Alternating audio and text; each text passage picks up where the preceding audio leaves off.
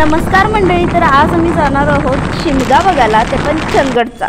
तो शिमगा खूपच खास असतो आणि आज तुम्ही सुद्धा बघणार आहात. मला फक्त ऐकूनच माहीत होतं म्हटलं बघूया तर काय चंदगडी शिमगोत्सव काय असतोय. थेट गेलो पहिला कुंभार गल्लीत आणि इथं तयारी जोरात चालू होती. इथे परंपरा कला व माणुसकी जपली जाते.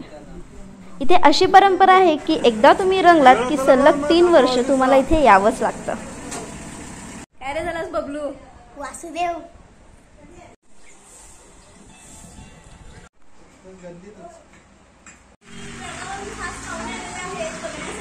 ते दरवेळेस बेळगावचे पण. हा, हा, हा. आता आम्ही करणार आहे सामान आलेली आहे तशी.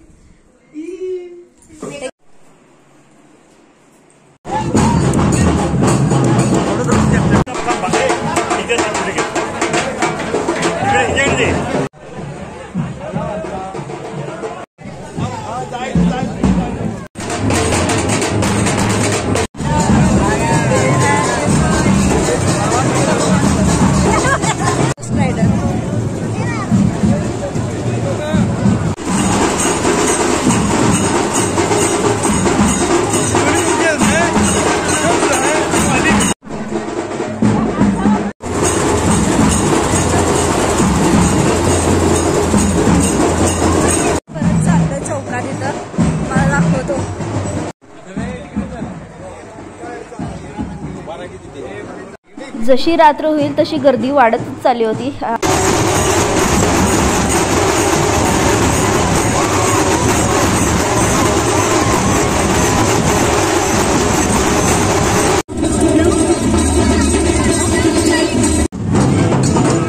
असं बघायला मिळालं की लहान मुलांपासून ते वयस्कर लोकांनी सगळ्यांनी सोंगे काढली होती. प्रत्येकाची थीम ही वेगवेगळी होती. हे बघा तुम्हाला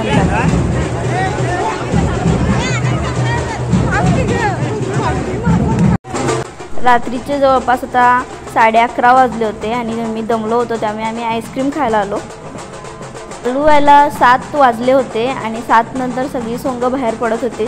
हा जागर रात्रभर चालू असतो आणि माणसाची गर्दी तुम्ही पाहतच आहात. मग मी मला एक मस्त जागा मिळाली मग मी तिथेच थांबलो. हे बघा किती गर्दी आहे. उभारायला पण नंतर जागा नव्हती अजिबातच.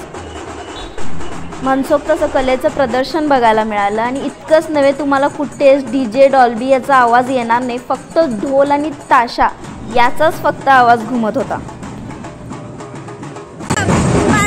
अभिमन्यू.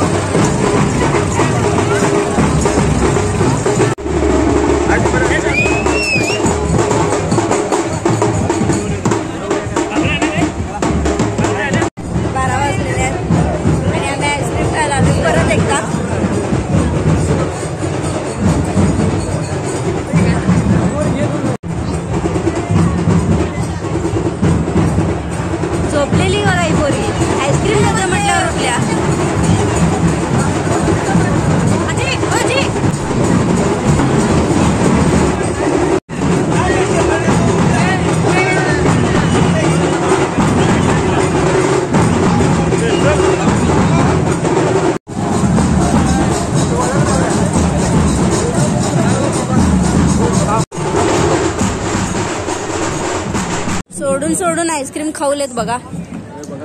बघा. इथे जी होळी तुम्हाला बघायला मिळते ही मानाची होळी आहे. घरपती प्रत्येक एक माणूस जातो जेव्हा ही घेऊन आली जाते. आणि ही होळी पूजून पुढच्या वर्षी जाळली जाणार आहे.